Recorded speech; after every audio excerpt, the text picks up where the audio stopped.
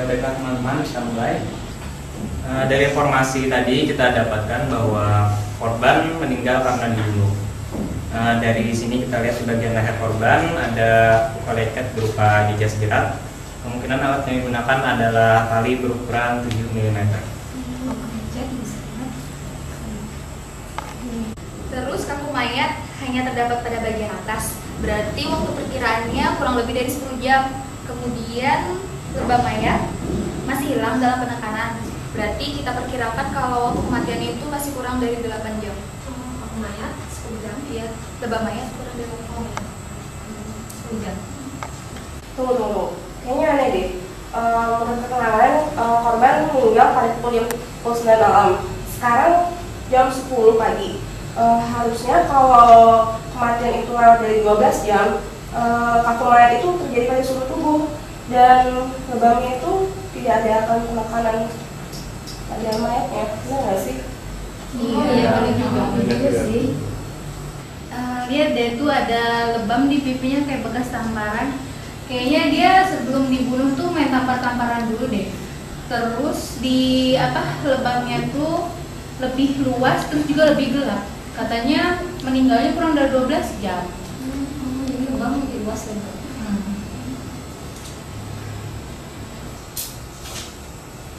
Nah, ini nyata ya lebamnya tuh langit dan ganal. Kadang tina nang karep-karep kebiruan gitu nah. Inya matinya jadi jarak, makanya nang tina sionosis tuh nah. Atau mati lemas istilahnya. Habis itu pula sionosisnya nih langsung banar gitu nah. Belum maka 24 jam sudah nang biru-biru di bibir. Kalau ujung-ujung jarinya tuh nah, coba lihat aja. Oh, jadi penglihatannya Iya, jadi menurutku lah, kalau bagian kamu jual menurut bagian kamu lo, nyanyi mati gara-gara mati tuh nah. Asfiksia istilahnya nah. Oh, oke. Itulah sia juga. Iya dulu. Oke, kayak kelihatan ya asli sih. Aku setuju Gi sama kamu. Coba deh kita lihat di bagian bibir sama hidungnya. Di bibir sama hidungnya ini ada busa. Terus habis itu kita buka matanya ya, kita lihat. Nah, di bawahnya ini ada bintik-bintik perdarahan. Sudah pasti mekanisme kematiannya itu asfiksia. Ini sih, oh. Iya. jadi bisa ada bintik-bintik di. Benar benar. benar. Berarti kalau misalkan asfiksia itu berarti pas waktu periksa dalam nanti bakalan banyak darah, terus juga eh, organ dalamnya itu bisa terlihat lebih berat, gitu ya. Itu yang benar ya. Kalau gitu langsung aja kita buktikan teman-teman. Oh ya, tadi sampel yang harus kita kirim ke lab sudah dikirim apa belum? Iya udah tadi. Sudah ya. Oke, dari pemeriksaan yang dilakukan tadi, kira-kira kesimpulan apa yang bisa ditarik oleh saudara-saudara di DM? Siapa yang mau jawab?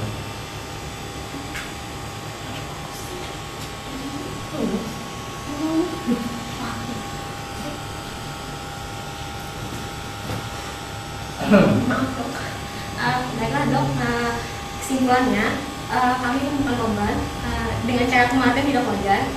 Penyebabnya penjeratan pada leher. Eh, kemudian eh, mekanismenya kematian dengan. Waktu kematiannya diperkira- diperkirakan kurang dari 10 jam. Kemudian dari pemeriksaan dalam juga mendukung mekanisme asfiksia. Ya, darah dari korban tetap cair dan organ-organ dalamnya seperti hati dan paru eh, tadi terjadi eh, penaikan dari dan organ-organ tersebut. Udah. Udah dong. Ya. Ya? Misi dok, kami dari DMI. Oh, Ini hasil poligraf. hasil ya.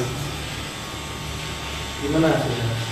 Eh, dari sampel tubuh korban ditemukan ada kulit seseorang mungkin itu kulit si pelaku yang mencoba menjerat korban sehingga korban mempertahankan dirinya sebelum kematiannya dengan menarik tangan pelaku. Oh, iya. Oh, dan itu dok, kami juga sudah memeriksa bekas tamparan di pipi. Sepertinya pada bekas tamparan di pipi dan kulit pada tubuh korban eh, itu berasal dari dua orang yang berbeda dok. Oh iya, sudah. Ya, kalau begitu langsung namakan pelaporan. Baik dok.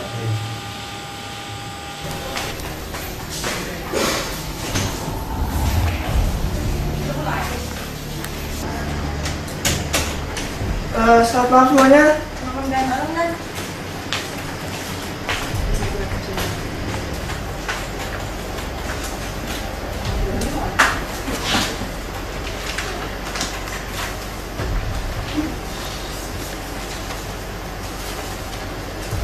Aida, gimana perkembangan kasus yang bernama Dimas? Mas, ini lagi diproses dan kayaknya ada yang aneh deh dari keterangan saksi-saksi. Oh gitu. Soalnya keterangan saksi itu kan eh, Saudara Ramli, apa hubungan kamu dengan saudara Dimas? Apa hubungan kamu dengan saudara Dimas? Jawab! Dulu kami memang pasangan, Pak. Tapi itu dulu. Sekarang? Kami udah lost contact udah tiga tahun, Pak. Kapan kamu terakhir bertemu dengan Dimas?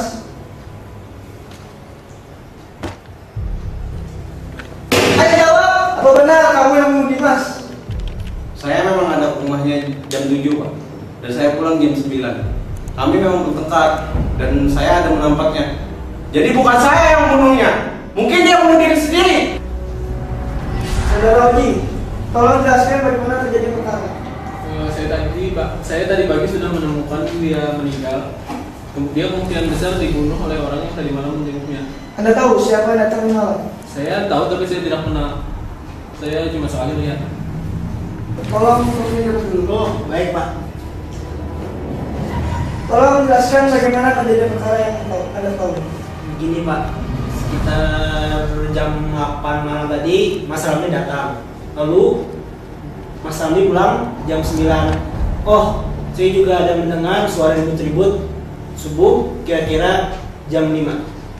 Oh gitu. Yang Anda tahu yang terakhir datang ke rumah Dimas siapa? Yang terakhir ya, Mas Ramli itu tiba-tiba pulang nabrak saya. Ada yang aneh dan Apa yang aneh mbak? kayaknya pelakunya ada yang beda. Terus tadi juga baru apa sudah lihat laporan forensiknya. Oh, katanya itu Dari sampel kuku korban ditemukan ada kulit seseorang, mungkin itu kulit si pelaku yang mencoba menjerat korban sehingga korban mempertahankan dirinya sebelum kematiannya dengan menarik tangan pelaku. Oh, dan itu dok, kami juga sudah memeriksa bekas tamparan di pipi. Sepertinya pada bekas tamparan di pipi dan kulit pada kuku korban eh, itu berasal dari dua orang yang berbeda dok. jadinya ada dua orang yang berbeda. Oh ya, kata Yati, Mas dia, dia sendiri kemarin gimana? Oh iya. Oh, ini dah. Nih.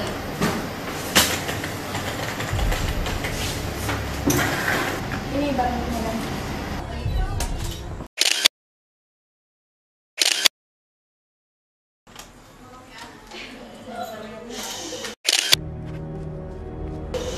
Ini barang bukti yang ditemukan di TKP ya?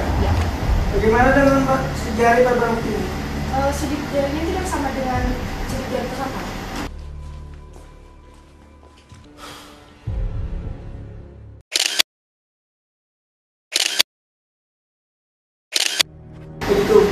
Ada bukti lain yang menunjukkan Ini ada foto dari eh, saksi Oji dan foto dari tersangka Ramli.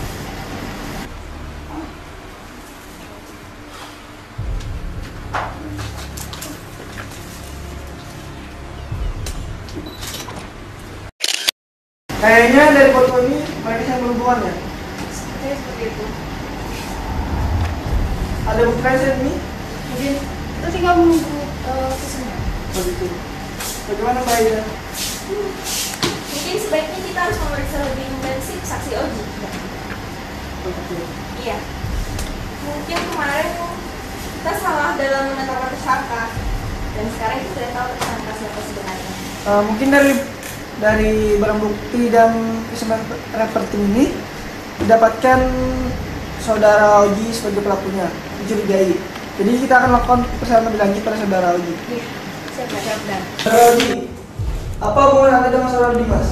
Apakah Anda berdua pacaran? Tidak pak. Saya Lalu, ini apa? Ayo jawab! Kau jelaskan.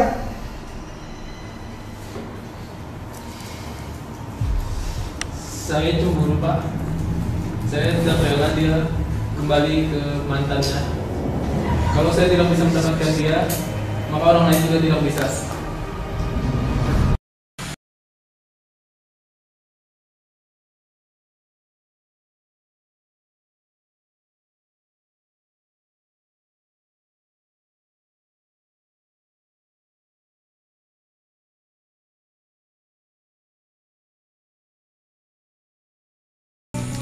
Mas Gom, Mas, Ya. Siapa, Mas? eh kawan dari Jawa mas. Oh iya iya. Dulu ya. Ya Mas, silakan.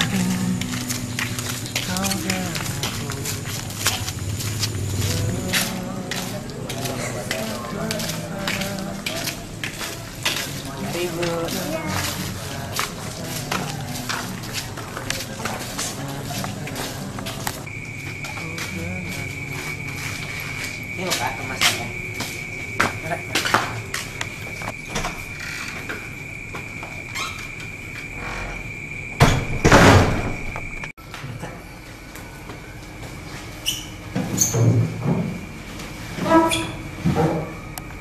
Makasih kalian mau datang.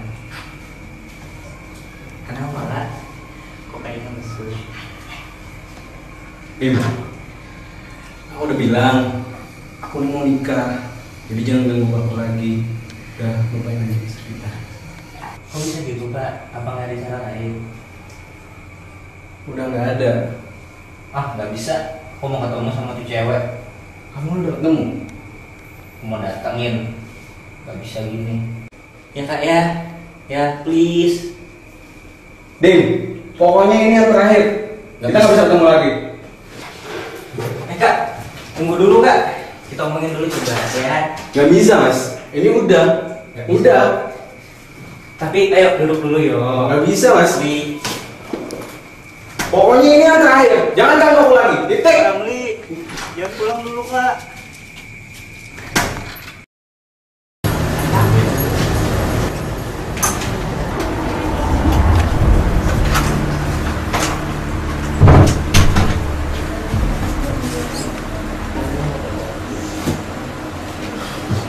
Kenapa? Kamu gak suka? Atau karena cowok tadi malam? Kamu tahu kan Ji, aku nggak bisa hidup tanpa dia. Dan karena dia juga aku bisa bertahan sampai sekarang. Aku lagi banyak masalah, jadi please jangan nambah-nambah masalahku. Oh, jadi aku sama ini cuma pelarian. Padahal kan kamu tahu, aku sangat menyayangimu lebih dari apa pun. Jujur ya Ji, udah lama nggak sayang kamu. Pokoknya aku nggak rela kamu sampai dimiliki orang lain.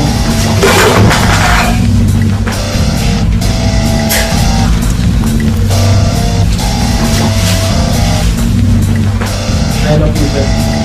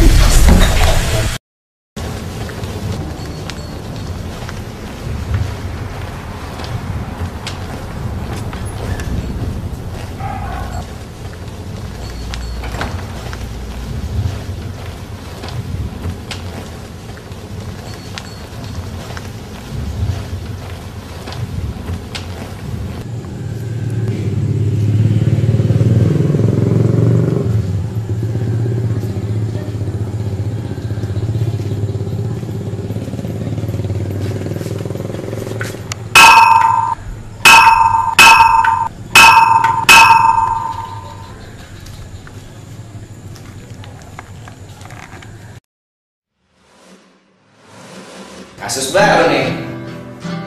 Cinta segitiga berujung maut. Pelakunya homo sama homo lagi. Wah, apa nggak gila tuh? Makanya kalau ada masalah percintaan, diomongin dulu. Jangan main cekek aja. Udah putusin. Kalau udah gini gimana? Ya pemirsa ya, banyak nyamuk nih. Nggak akan milih siapa-siapa. Makanya hati-hati, kejahatan bisa terjadi bukan hanya karena ada niat dari pelakunya, tapi juga karena ada kesempatan. Waspadalah, waspadalah.